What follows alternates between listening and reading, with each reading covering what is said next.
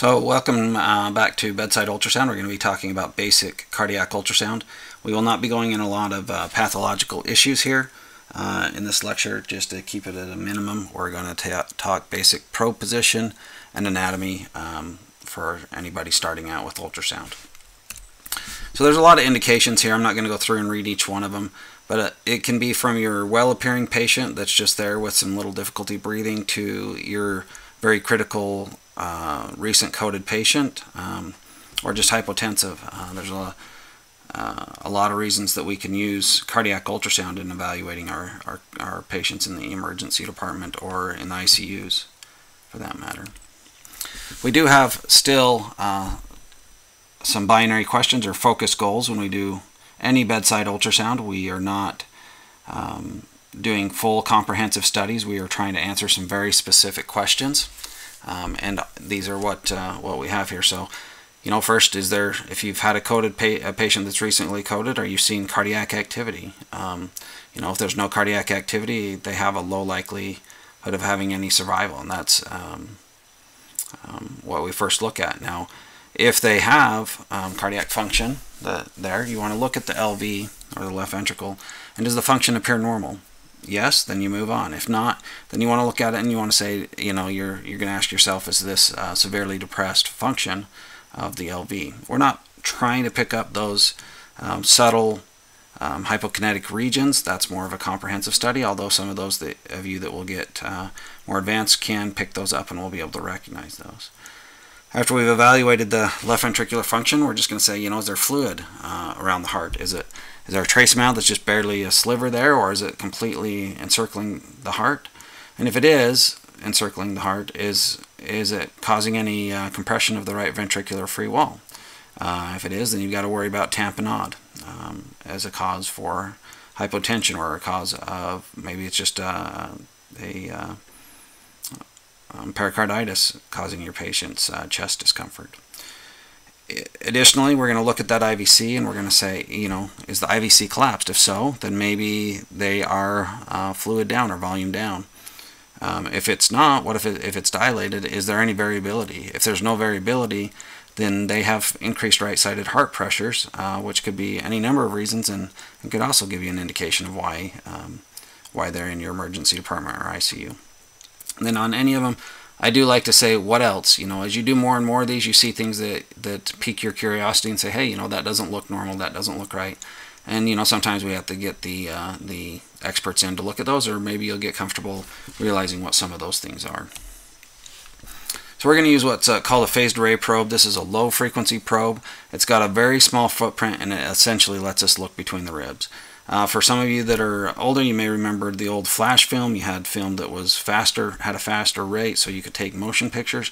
That's essentially what this does. Or if you use camcorders, you look for, you know, you're trying to find something that has a high uh, frame per second ratio. And if it does, it doesn't quite give you as good a quality of image um, compared to something that can create a still image, but it gives you a pretty good image, especially when something's moving like the heart, and that's what we want this to do.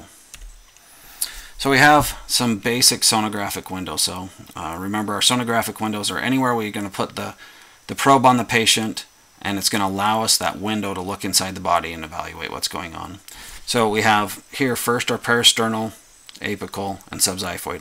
And I like to go in a clockwise manner. I like to start at the parasternal, go clockwise, apical, subxiphoid. And I like to start in the position of comfort. So if you have somebody that's struggling to breathe and they're sitting up, I like to scan them there. Uh, if if I have to, then I will lay them back a little bit. Uh, sometimes you have to get supine with patients as long as they can tolerate it. And then additionally, you may have to roll them over to their left side. You know, I don't spend a lot of time dwelling in one spot. I try to change their position in order to help me get better images. But I always um, start back and do parasternal, apical, and subxiphoid. And I like to go in that pattern so I don't forget or miss anything, um, just because it allows me to stay sequential in everything I do. So on the parasternal long axis, uh, you're, you're going to start with your probe marker towards the patient's right. Uh, it may be directed right at the right shoulder, but it may be just a little left or a little less than that on your angle. Um, so sometimes be anywhere between 9 and 11 o'clock, uh, just depending on the orientation of the patient's heart, is where your probe marker will be pointed. And I like to start up here, right under the collarbone and drag down. Yeah, most of the time it's going to be in the third or fourth intercostal space.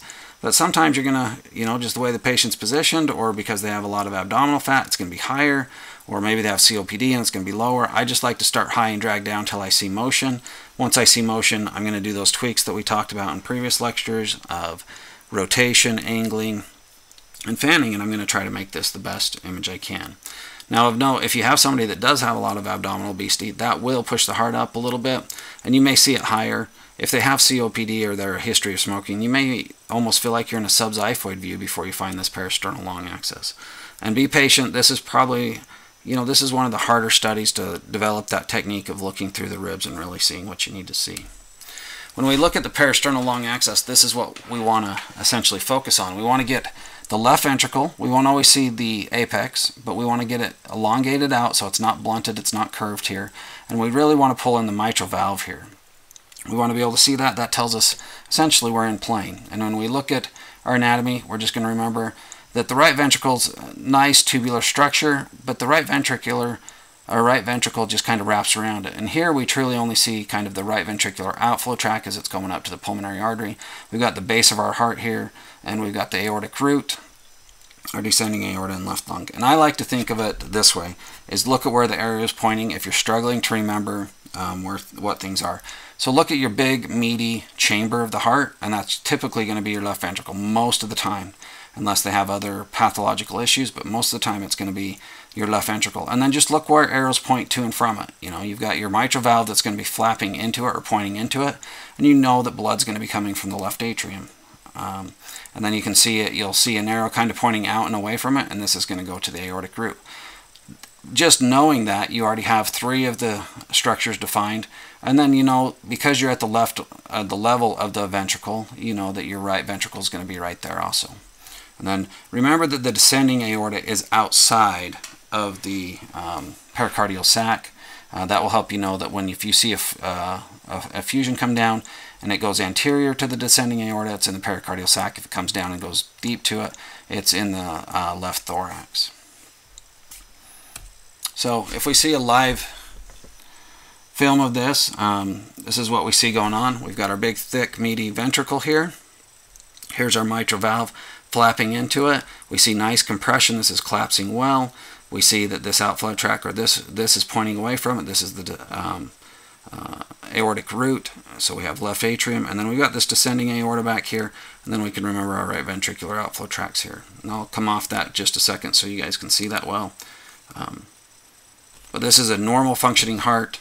Uh, if we apply those binary questions, this is a normal appearing heart here.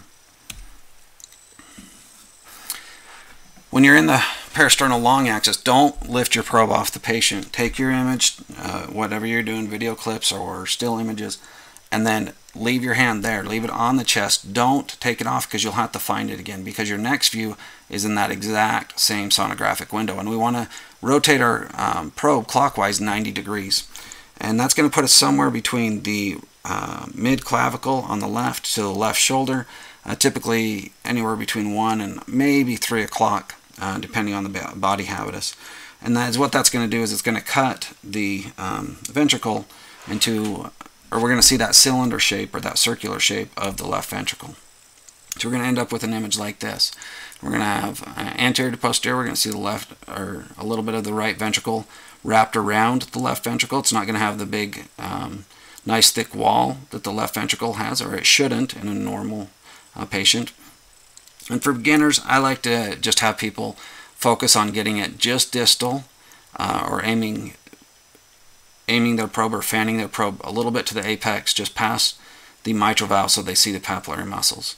Um, some of you may get to the point uh, with some advanced scanning of looking at the mitral valve, but for the majority of you that are just looking um, for what is the cardiac function, this is the, the, a good shot to get an idea of what's going on. And you want to see these papillary muscles. They'll show up as two hyperechoic structures within the left ventricle, and it gives you a good idea of what the squeeze is of the left ventricle. Um, so let's take a look at that here. So we see that nice thick ventricle. Looks like a donut almost with these two little uh, eyes in it or uh, hyperechoic structures. And we, I just like to imagine a little dot sitting right here in the middle of that structure and what is going on with that and how much collapse is there. Now, when you evaluate this and you're thinking of this, um, a lot of novice people or novice uh, practitioners to ultrasound will say, well, it's not collapsing all the way. And you got to remember that a normal ejection fraction is above 50%. It does not have to collapse all the way. If those walls are touching each other, that's a hyperdynamic uh, heart, and that's not normal. We want to see that that space decrease by 50%. And you looking at it and just saying, you know, this is what it looks like is uh, is pretty good as you get experience of evaluating what the EF is. And we want to just refer to it as normal, um, and if not normal, is it severely depressed? Um, and in between, we're going to call it reduced as we do basic uh, cardiac ultrasound.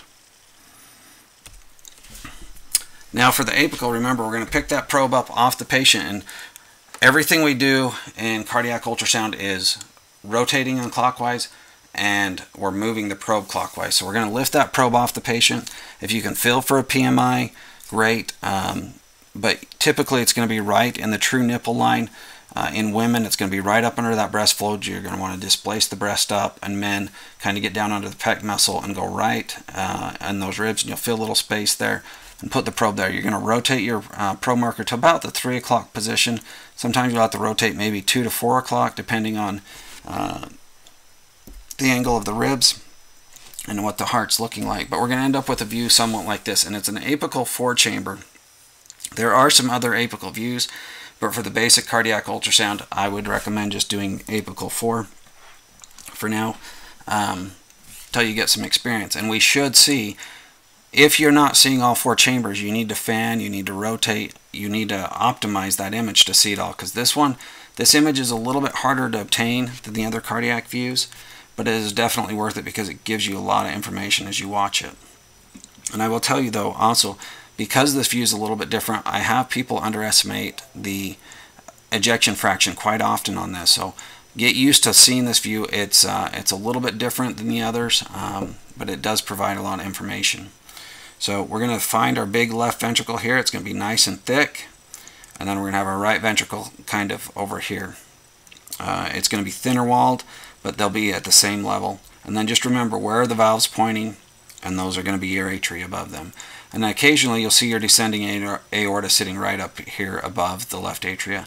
And then remember everything kind of surrounding is your left lung. Now, when you look at this view, re please remember that the apical view is the least sensitive for finding a pericardial effusion.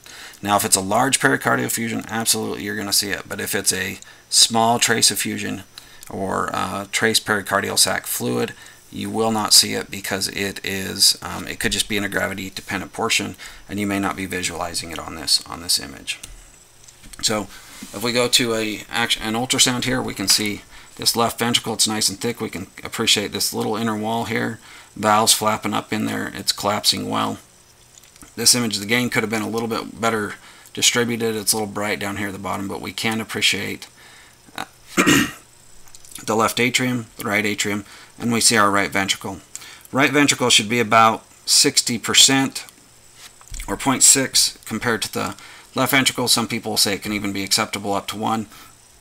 But I personally, once it gets up to they're looking the same size, you know, I consider that to be some right ventricular hypertrophy or, or not hypertrophy, but dilated right ventricle. Um, subxiphoid, we're going to continue to uh, move the probe in a clockwise manner. This time we are not going to rotate the probe. Now, don't let this confuse you. For those of you that uh, have listened to the FAST lecture, our probe marker's towards the right, but you got to remember we've switched to a cardiac setting, and most, or at least most of you will, um, have switched to a cardiac setting for this. And when you do, uh, your pro your your probe marker and your um, your probe indicator are going to be a little bit different. So on a cardiac setting, you're going to leave your probe marker pointed towards the patient's left. That's still that 3 o'clock position. And then you're going to aim, uh, push, push down with pressure first, keeping that probe perpendicular to the skin. Once you push down a ways, um, and slowly so they don't feel like you punched them in the stomach, then you're going to turn your probe and aim it up towards that left shoulder. And once you get up to that left shoulder, you're going to get a view that looks like this. You'll see your liver, You'll see you're going to use that as a sonographic window. Your right ventricle will be laying on top of the, or right underneath that. and at the same level will be the left ventricle. And you'll see that nice big thick uh, meaty wall. And then you'll be able to tell where your valves are and where those are uh, pointing to and coming from. And that will define your atria um, so let's take a look here at a, an ultrasound image of that. So we see this nice big thick wall right there over here. This is our left ventricle. All right here. Our right ventricle is going to be here. It's very small uh, on this image compared to the left ventricle uh, definitely not as thick walled, um, but this is our uh, same level, so that helps us define them. And then we just watch these valves that are flipping up into the ventricles and know that those are the atria lying beneath them. So this is another four chamber view, and this is a good view um, for determining if there's a pericardial effusion. I don't find this sometimes this can be very helpful for estimating ejection fraction, and especially COPD patients, but sometimes obese patients this can be a very difficult view, so don't get too frustrated if, if that's an issue. Now with the IVC, we're going to keep our probe in essentially the same place. I'm not going to, I'd let off on your pressure, stand it up, and now you're going to rotate the probe marker towards the feet. Um, and staying right in the middle, you're going to fan over and look at the patient's right side. And as you fan across, you're going to be looking at the liver and you're going to come across till you see the IVC. And we want to see, because of this plane, because you're in the middle, you should see liver on it on this side. Now, you are, the IVC does course behind it, but as you go from midline over to the right, you are going to capture, capture this right lobe of the liver behind the IVC. And another thing to help you determine this is the IVC is the hepatic vein coming in. Now the reason why I say look for liver behind it and here the hepatic vein is because a lot of people stand it up, look straight down, and they'll see that aorta right underneath there, and they'll determine that to be the um, IVC, and they don't appreciate any collapse, and they interpret you know that as being a dilated or high CVP for, on the patient. Please be careful of that. Uh, that's a, a, novice mistake. Um, just make sure that you're you're looking over and seeing at least the hepatic vein coming in, or a little bit of liver behind it, and really focus on if you know if that's the IVC or the aorta.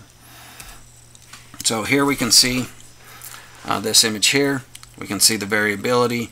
Um, not, we have a little bit of, you have the pulsations from the emptying of the atria, but you can also see that here the patient's breathing and that's as that decreases the intrathoracic pressure, the IVC is able to empty uh, a little bit more into the right atria, um, and that gives us some uh, respiratory variation. And as you know, you can see some right lung here, so you may see a, per, uh, a uh, pleural effusion or right thoracic fluid occasionally on this view. So um, there are several tables out there that describe this. This has been well described that you can determine a CVP, uh, take the pitfalls of using a CVP and determining what a volume status is or fluid responsiveness. Um, um, I'm not going to go into detail of that, but respiratory variation can help you know what a CVP is, at least. Um, I kind of look at it this way. I, I struggle to memorize this table. I look at it as a slit-like and collapsed. If it is, I've got a low CVP.